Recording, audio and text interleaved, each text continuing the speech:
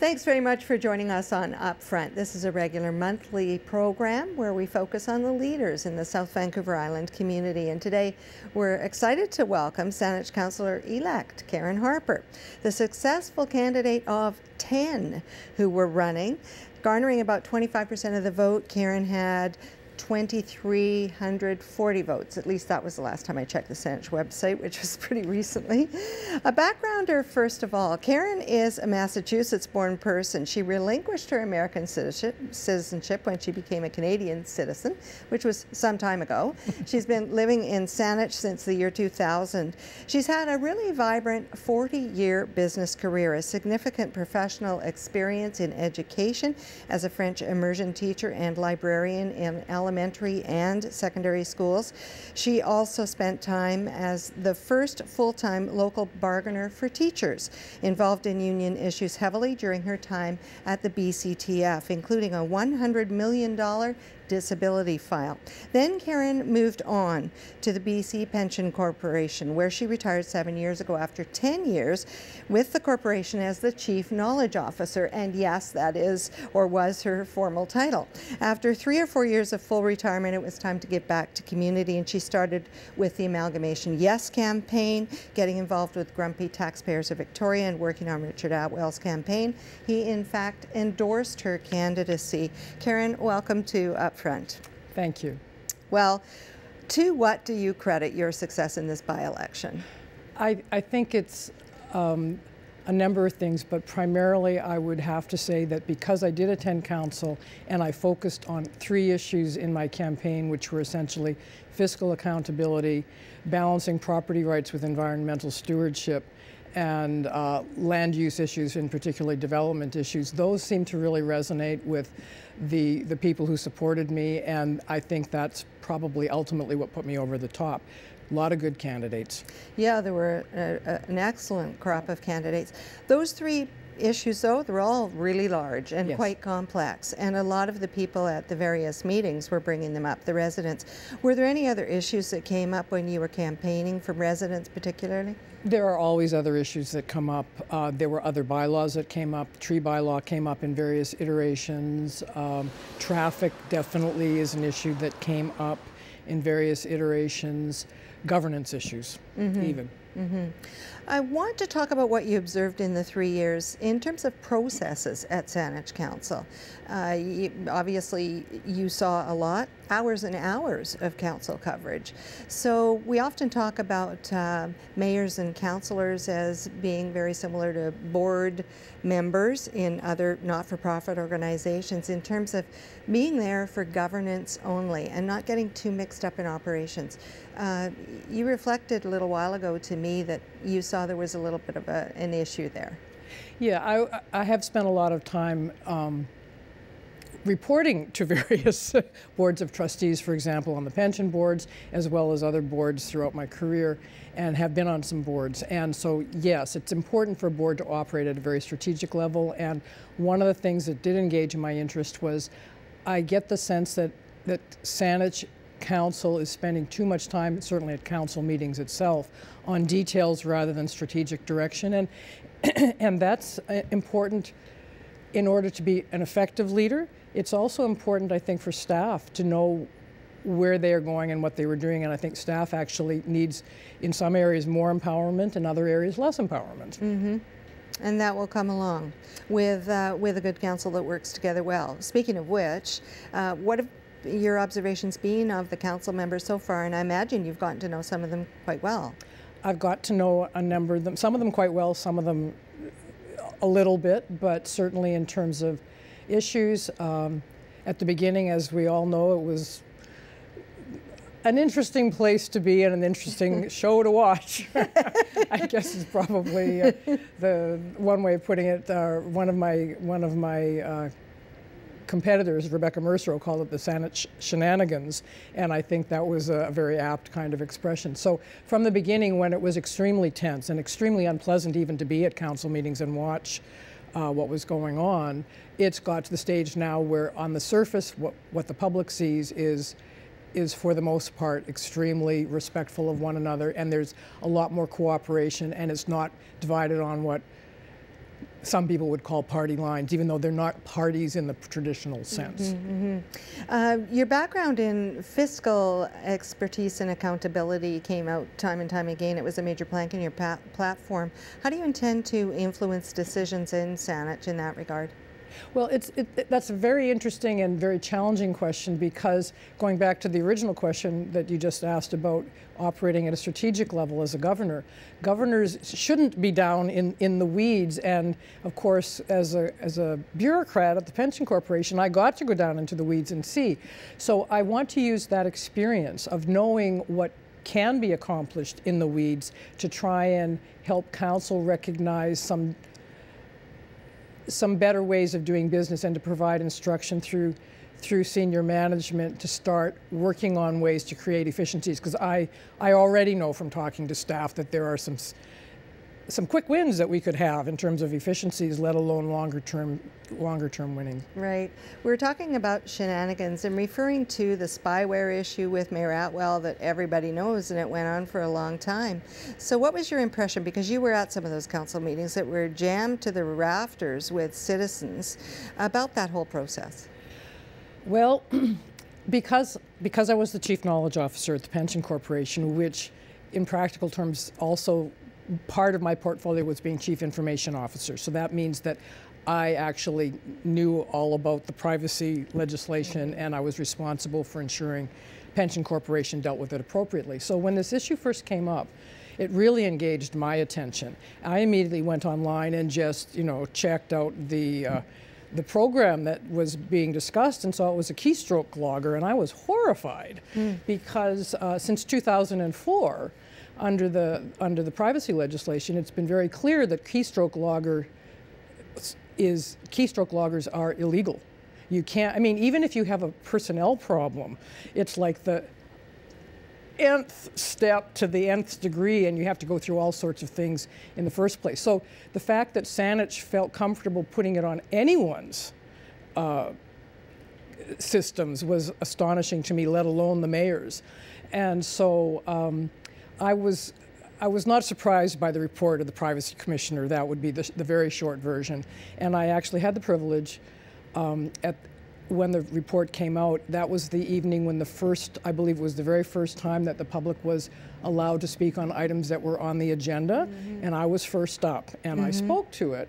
And that room was crammed full of people. It was crammed there was there was standing room only, literally, and so I spoke to the issues that I've just described. The fact that as the CIO, I could have written the report myself. Mm -hmm. uh, that this is not new legislation, and that I was actually quite dumbfounded to think that that I didn't understand how Saanich could have, on any level, thought that this was acceptable or to be or to be still defending it as some councillors continued to do at that point. So it was obvious why the uh, the attendance was so high. But what about in general terms, Karen? What about the um, the process of engagement in Saanich? Is it uh, resonating with you as it stands? It, it, engagement is a really interesting issue, I think, for any group of leaders, and. Uh, what I've concluded after 40 years of being involved, you know, on the union side and on management side and all and everything in between, is that engagement doesn't happen easily, and for the most part, that's okay, mm-hmm. actually. Um, at the municipal level, I think most people get out, they vote for people that they want to do a very specific job. Municipal politics should be the bread and butter. It should be, in many people's minds, something that happens smoothly without really having to them having to do very much. And um, so, just as the night where we had the spyware um, issue coming forward, people tend to come to council when they are concerned about things as opposed to just because of engagement. So it's not that you can never engage people, but you can't you certainly can't be engaging people all of the time. They get tired. Mm -hmm. They absolutely get tired of it. So you have to really pick pick your items about what you're going to engage them in and not be disappointed if you don't get a lot of engagement. Because in fact, what that's telling me is if you don't see people out, that you're probably doing something right. Yeah, you're doing and your if job. You, and if you see a lot of people out, something's wrong. Yeah, yeah. At least in their minds, and you need to and you need to pay attention. Right. I attended one of the by-election candidate forums. First of all, there was an amazing crop um, of candidates. The, the major concern for residents was the slow pace of development and high taxes. There was even a sign posted in Saanich saying, go to Langford or start young. Uh, very apt. How do you hope to reduce development conflicts?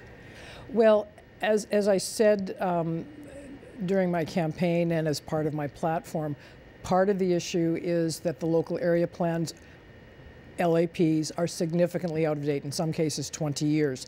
And so what's happening is, is Saanich right now is dealing with development on a case-by-case -case basis. We need to be operating at a more strategic level, which is why the local area plans need updating.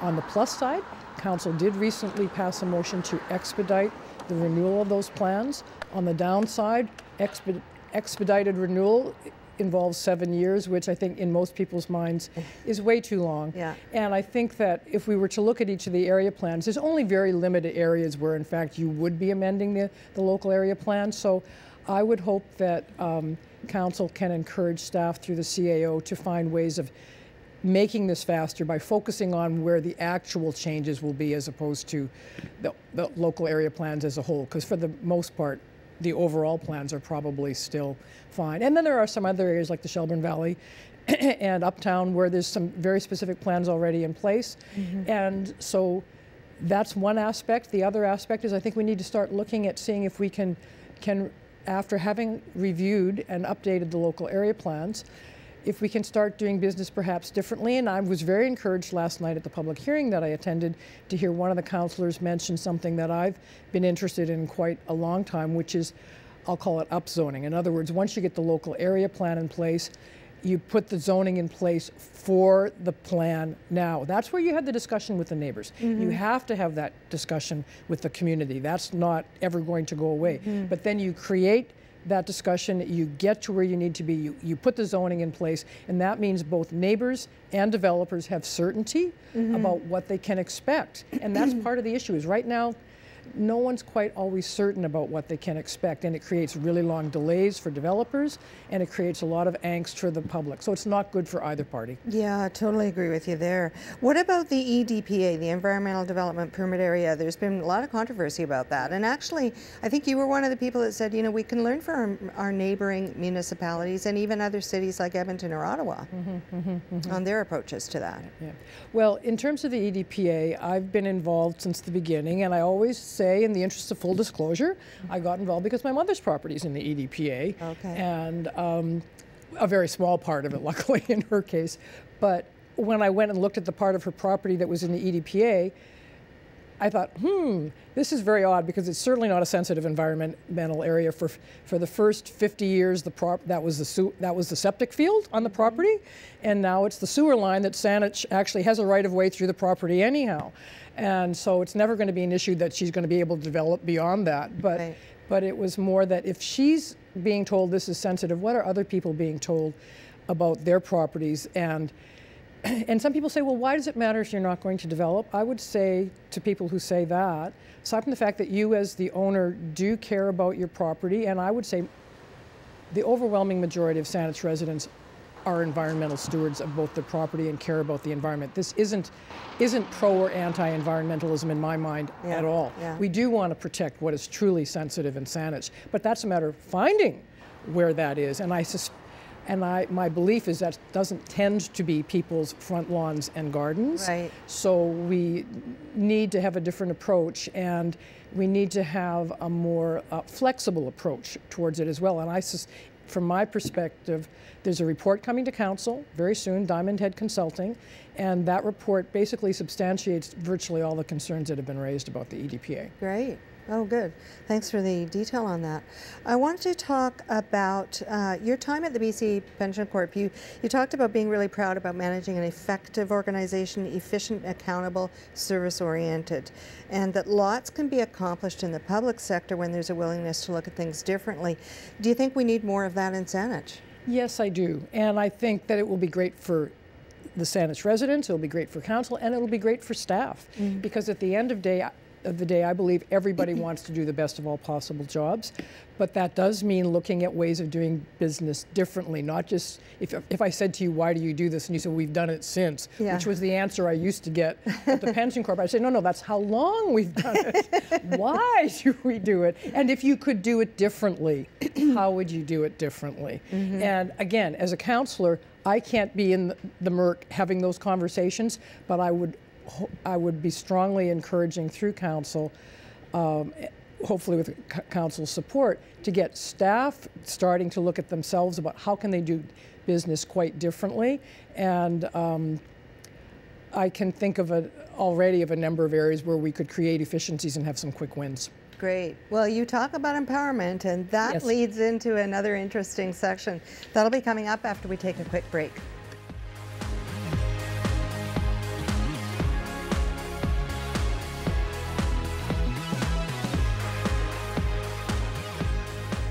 I'm back with Karen Harper on Upfront. I've rarely seen so many good candidates. Truly, have been looking at politics for 40 years. So many good candidates in the Saanich by-election, Karen. And uh, your closest rivalries were Rebecca Mersereau and Natalie Chambers. What was your impression of the overall race, the tone? I thought it was very positive. Uh, the candidates um, on on a personal level got on fine with one another. There was I don't think there were really any hidden things going at all, which is great, which is not always the case in politics. I understand. I mean, I'm not a I'm not a, a career politician, but um, no, I thought that part was very, very positive, and it and it augurs really well for Saanich that there were so many really good candidates uh, who ran, and I am quite sure that many of them are going to run again. In fact, I know that many of them are going to run again, and I think that will be great in the upcoming election where we have the entire council up for re-election. Agree. How would you describe yourself as a leader? And, and maybe even more importantly, how would others describe you as a leader? You've led lots of teams. Well, um, I would describe myself as collaborative, as very approachable, uh, as someone who understands where we are strategically, but can but also understands details. Which when you're um, when you are actually in the business, you need to have both ends of it. And but once I know the details are working, I say to staff, go away and make it happen. And so I believe in empowerment of, of staff. Um, and I trust people as long as they show to me that they deserve to be trusted. One of my endorsements that you probably noticed was one of my former staff people. I did see and that. so, I, in fact, I was quite um, And you didn't pay them any money. I didn't know. I certainly didn't pay them any money. And um, and the thing is, that was at the pension corporation. But I'm, but when I left the BC Teachers Federation, where I was managing the disability plan, I have people that are, you know, who before they have still remained in touch with me, and it was the same approach. It's about, it's about listening to people, saying how can we do it better, empowering them, and and also saying, re- let's always remember the most important thing we're doing is we're serving people. Mm-hmm. And so we want that to be a positive experience. And I believe most staff always want to do the best that they can. And I operate from that premise. So I, I do lead, but, and at the end of the day, if push comes to shove, I'll take the decision and I'm prepared to wear it. But I also back people up when they're in trouble if they deserve it. Uh, you built a good succession plan, speaking of all this, at the Pension Corp, and you believe in term limits on council. How long and, and why? Well, I've, I've been thinking about that a lot, and since the government changed the, the term of councils from three years to four years, my personal bias is for two full terms. Um, and I can certainly make that commitment here, and I'm prepared to make it on the air that, you know, if I'm reelected, uh, I will not serve more than two full terms plus this by-election because I really believe that everyone starts from a really good place when they run for council, but you can get too attached to positions, too attached to believing that you know better than others. And I think you know you need some specific goals in place. You have to try to attain them. And if you've done that, great. And if you haven't, it's someone else's turn to mm-hmm. try and achieve the goals that they have in mind. So I think two full terms, which is eight, is is probably enough. Is that likely to happen? Probably not. I'm a realist, but I can at least make that personal commitment that I will be limiting myself to that if I'm successful. Well, speaking of this first year of all of that time, uh, what do you think it's going to be like for you and others at the council table for Saanich? I mean, there's many challenges. There are many challenges, and, and one of the challenges is for me is I'm coming into a council that has been together for three years, that have developed relationships for three years, and even though I know many of them and I have a comfort level with many of them. It's, it's going to be a little peculiar, I am sure, for a while. Um, and, but I, I do want um, to, to try and find those points where we can agree because at the end of time, um, although I have three particular issues that I'm interested in, I can't achieve any of those goals unless I get the collaboration and cooperation of, of the rest of council. And so I will work to try and get that. That's all I can do, and that was always my strength in the past, that I was able to work with people that I didn't always agree with, because you find that sort of sweet spot and sort mm-hmm. of build on it. Mm-hmm.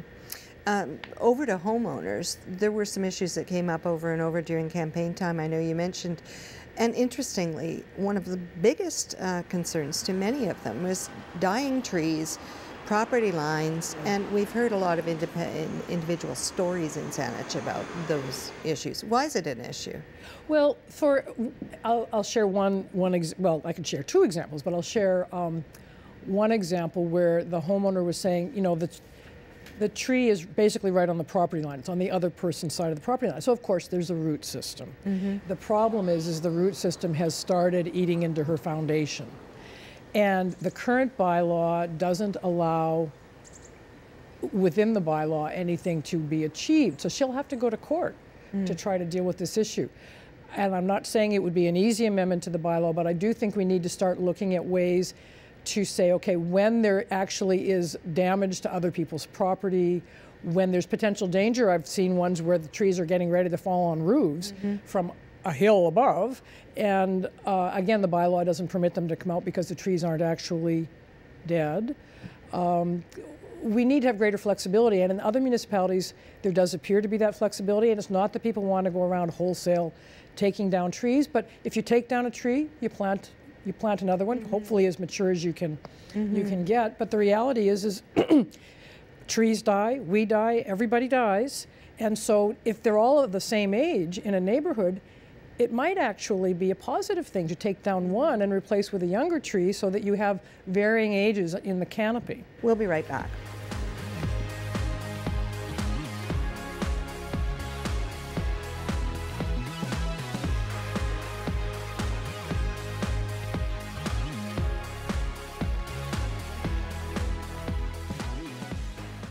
Welcome back. Well, for many Saanich residents, it was a tremendous loss to see the passing of Vic Derman, who was the former Saanich councillor. He was, uh, of course, well known as an advocate for the environment, sustainability. Uh, and I wonder, Karen, as we came up to the by election, many people were saying, well, we've got to have another Vic Derman. Um, what do you have in common with what Vic was fighting for, if any? Well, there are people out there who will be really astonished to hear me say this, but actually, Vic and I had more in common than we, than we didn't. Um, I've been involved in environmental issues since the 60s, dating myself, obviously. uh, including starting the recycling at, at, Simon Fraser. I've been on many a march, and I've always been concerned with the environment and and and done a number of things personally. My my father-in-law actually had used to water his garden with water that he collected from the roof. So it's all good. But I think that, um, so what we share is a common concern about the sustainability of the planet. And I think where we differed was, is where should the emphasis be? Um, so the EDPA being the, the classic example where I absolutely agree. We need to protect sensitive environmental areas in Saanich. That's never been the issue for me but it's actually identifying those issues um, and those areas. And the way Saanich went about it didn't actually do that, and that's where the conflict was created with a, um, an awful lot of the population that was immediately affected by that bylaw. So Similarly, whether it comes to traffic or cycling, I'm a cyclist. Mm-hmm. I'm an mm-hmm. avid cyclist. I cycle to work in Vancouver from downtown, basically Coquitlam, into That's downtown impressive. Vancouver, an hour each way. And I cycled to work here for the 10 years I was at the Pension Corporation. So I am an environmentalist, and, but I think it's important to say what can we do that will give us the biggest bang for the buck for helping us to save the planet? Mm-hmm. Because quite frankly, our generation hasn't done good things for the people who are coming behind us. Yeah, I think many people would agree with you on that. Uh, absolutely. the transportation issue is is big too in Saanich. Uh, You know, a lot of concern about the congestion, traffic, cars. There's no easy answer to that either. No, there is no easy answer, and but to me, it also goes back to a different issue that we touched on, which is actually that's a regional issue. Mm-hmm. Saanich can't solve some of these problems on their own, True. and so we have this governance disconnect right now because we have 13 municipalities in the CRD, and it's one area can do something, but then there's spillover effects in other areas. Even within Saanich, there's spillover effects. So we need to have a more regional approach to transportation. There's no doubt whatsoever in my mind if we're going to have any success in solving these problems. You have a well-rounded life. Uh, I know you've tried to find balance uh, along with your busy professional life, and I know you're a cyclist. I know you like playing tennis for. For many, many decades until you wrecked your shoulder, right? Yeah, That's a sad playing thing. tennis. That's a sad thing. Um, and spending time with your husband Paul on your sailboat, and a love of knitting and sewing, and that is really calming. I know from from doing those things myself. Um, tell me about your Vogue success. Well, I've had the when I, I've had the privilege of um, working with some really special designers. Um, so, for example, I've worked with someone who was the design director for Hardy Amies in London on Savile Row, and I also worked with a man named Koos van den who died recently, and that's actually how I ended up in Vogue Patterns. Uh, um, he was a New York designer who many people would recognize his work. He, he was really into doing interesting things with fabric.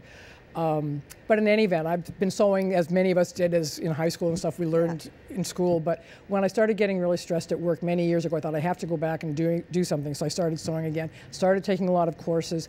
I was really privileged to start working with a woman named Kath uh, Catherine Brenny, who is back in Ontario, and she works with Vogue Patterns, and she brings in all these designers to work with. So uh, that's how I got involved in it. We do really, really interesting things. I had to give up a trip, in fact, to England because of the by-election, where we were going to be working in the New Forest on Wow. a, a special project. But I'm wearing a dress that I, I made that. under the tutelage of, uh, of John, and uh, it's the most amazing fabric. If you go the crepe lifts. It's the lightest Wow. weight crepe you could ever see, and we all designed. We actually draped them. We didn't use patterns to make these dresses, so it's uh, it's a really. Uh, but anyhow, in terms of Vogue patterns, I uh, it was a it's a really um, interesting lilac boiled wool jacket with all sorts of fabric attachments to it, and I get stopped on the street when I'm wearing it, saying, That's and great. I say, "Oh, so yeah, it's really was interesting." They go, "You made it," but yeah, I made it. It's it's sewing, and for the guys in the audience, sewing is like construction. The most important thing about it is knowing how to adjust for size,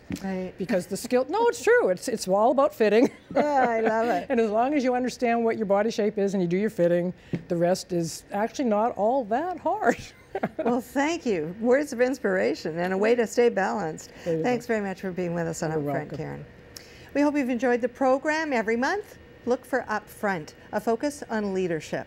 Thanks for being with us. Bye bye for now.